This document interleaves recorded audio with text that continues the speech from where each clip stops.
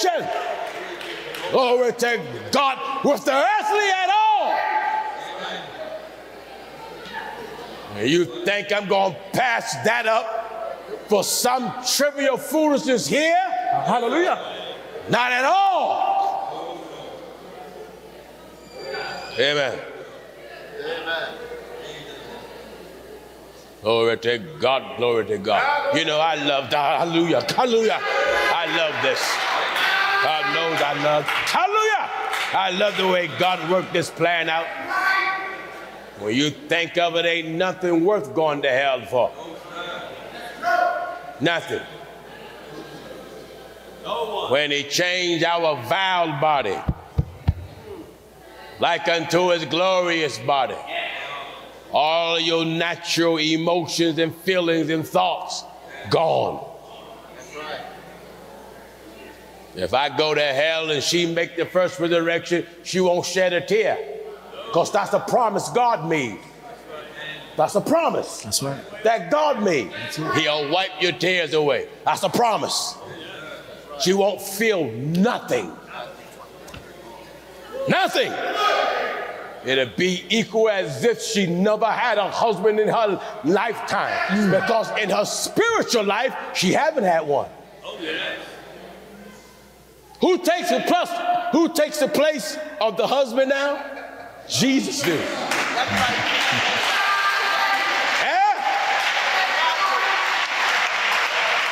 The church take the place. Listen, the church is called bride, wife. Jesus is the husbandman.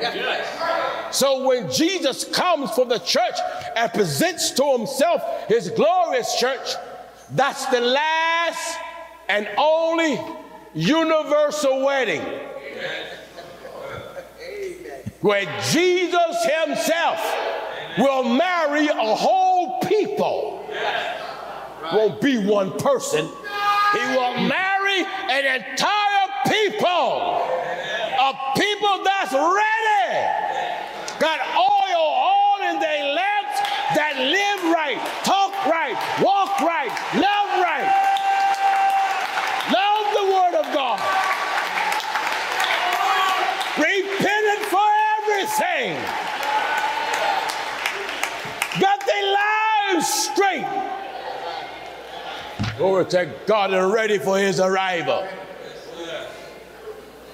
We're not playing around with this.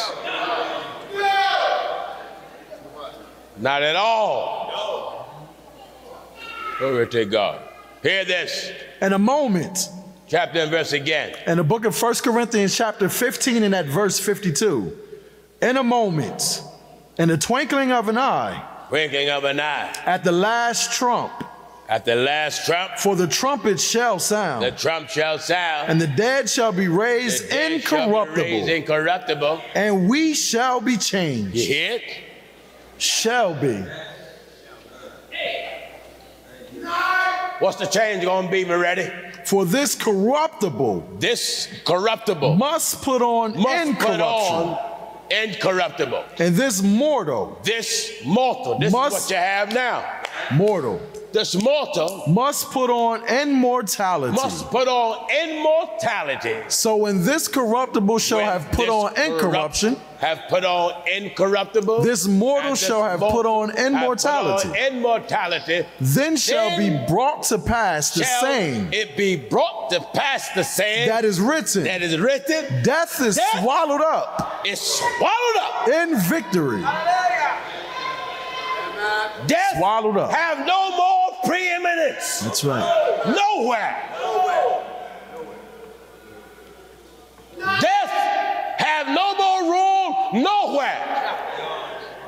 Then shall the saying come to pass that death Is swallowed up is swallowed up in victory. In victory. O death, Oh, death! where is thy sting?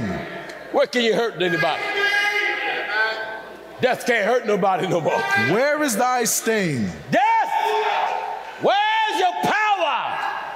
Grave, Grave, where is thy where is your victory? victory? Who will be able to be held to the grave then? Nobody. That's right. Because the grave going to give up the dead that was in it. Where is thy victory?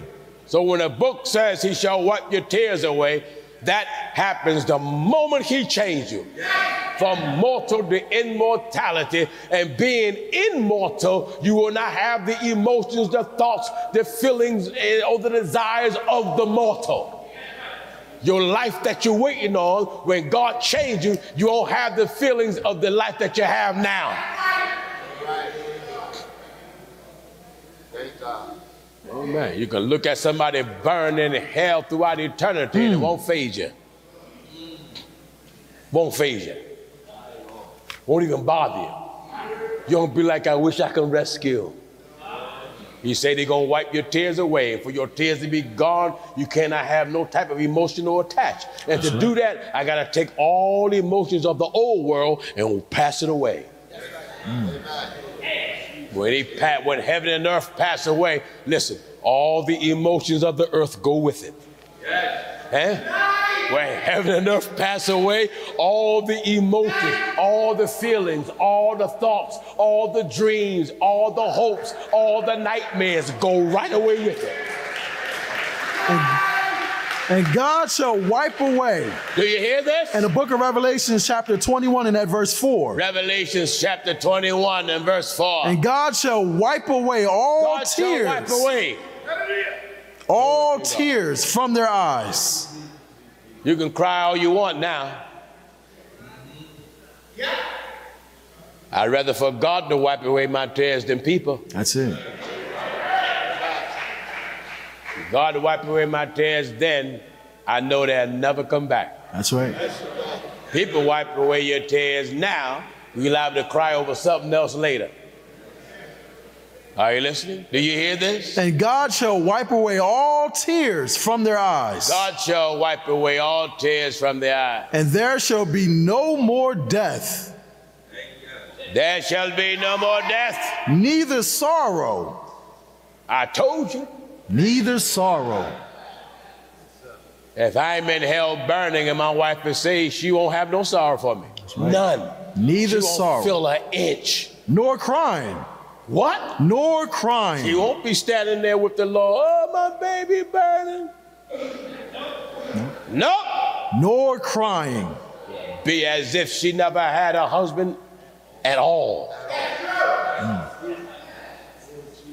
You see, nobody can fix this like the Lord no. can. No. He know what he was doing. That's it. You know, if he kept you with your emotions, some of these crazy folk would try to come down from the kingdom and go in hell to rescue family members. That's true. That's true. Certainly they would. Amen. That's true. Do you hear this? Give chapter and verse again. This is good. In the book of Revelation, chapter 21, and at verse 4. and God shall wipe away all tears from their eyes. Who's going to do it? God shall wipe away all tears from their eyes. All tears from their eyes. From their eyes. And there shall be no more death. No more dying. Neither sorrow. No, you won't have nothing to be sorry about. Nor crying. You won't have nothing to cry over. Neither shall there be any more pain.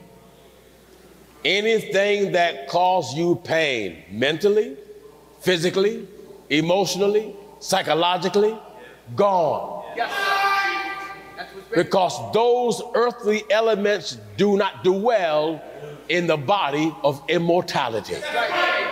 For the former things are passed away. Wait, wait, wait, wait. What do you hear? Do you hear? For the former things. The former, the former. For, hallelujah, former things. This is the present that will become former. That's it's it. talking about this right here, what's going on now. The former the things. former things are passed away. Are gone. That's right. And what?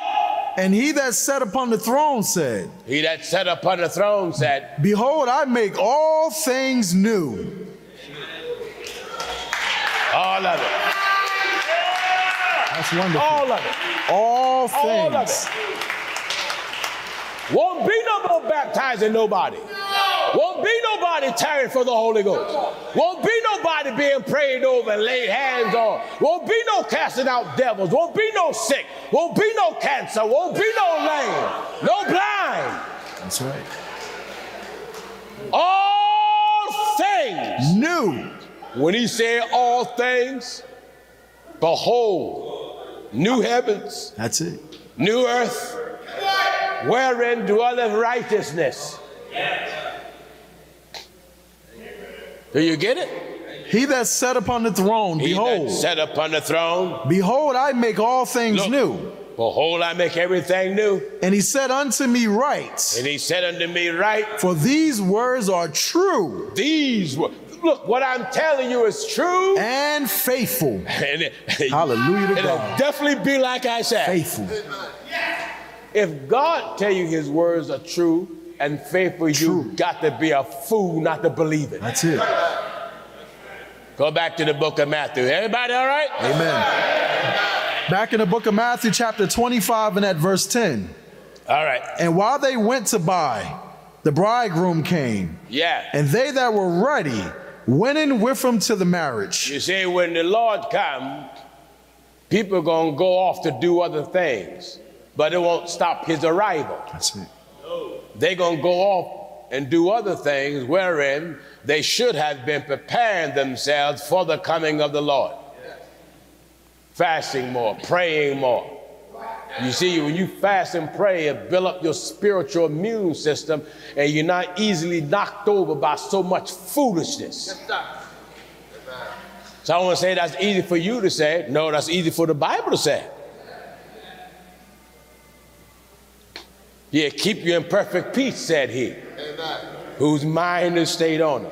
Wonderful. That's why some things that faze some people and don't faze another person, and they wonder why it don't faze them. They're just not like that. They, that's why my, my approach towards everything is from a biblical perspective. Some folks say, well, the Bible, the Bible, uh, the earth is not all spirit. That's right. But you name one thing in here that this don't deal with. He's reading about natural and spirit. That's right. The whole earth is natural, but within the earth is spirit. That's right. But I use the book of scripture to be able to use proper judgment on both because we deal with both. That's why my whole approach towards life is from a biblical perspective. Somebody asks me something, I go to the Bible and tell them what God said. Some tell me, I, I don't want, I know the Bible's true, but I want your opinion. What's wrong with what God said? Telling you what God said, is I'm not preaching. That's not being too spiritual. If I'm giving you God's thoughts about that particular thing, God's thoughts is better than mine. When a person can't trust the way God think, man, you's a fool. That's it. Amen. Amen. Brother asked me, Pastor Jennings, I'm having such and such a problem with my wife. Such and such and such. I'm listening. Should I stay with her or should I leave her? I take them right to the Bible. This is what the Bible said. This is what God said.